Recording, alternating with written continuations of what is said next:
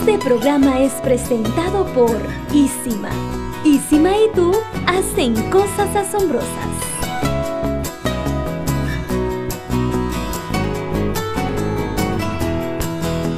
Buenos días amigas y amigos, este es su programa Cocinando con Sandra Cáceres, soy su amiga Sandra y este día prepararemos un delicioso platillo con sus marcas amigas Isima Mazola y Chilo, son unas costillitas sabrosas y para ellas necesitaremos ingredientes muy fácil de adquisición, muy económico y sobre todo donde usted eh, lo puede encontrar en su localidad más cercana. Así que en este momento precisamente vamos de compras. Acompáñenme.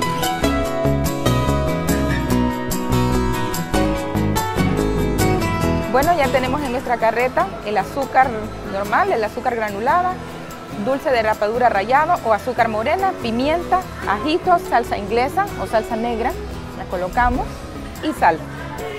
Nos faltan otros ingredientes que en este momento vamos a colocarnos en nuestra carreta ajos, asegúrese que esté perfectamente la piel del ajo para que de esta forma tenga un producto fresco.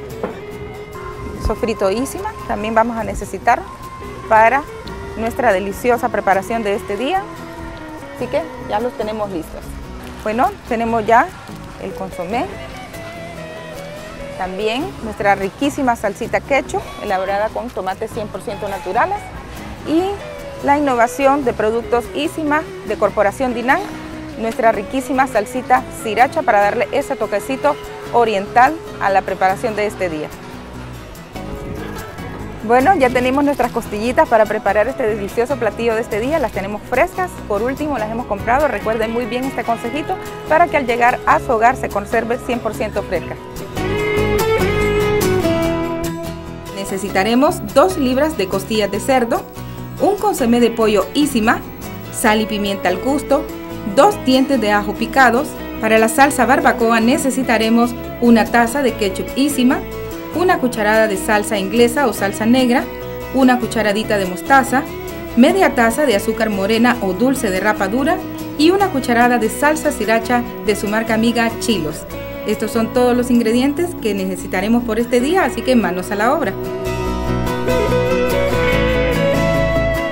Bueno, esperamos que ya tenga lista su lista de ingredientes.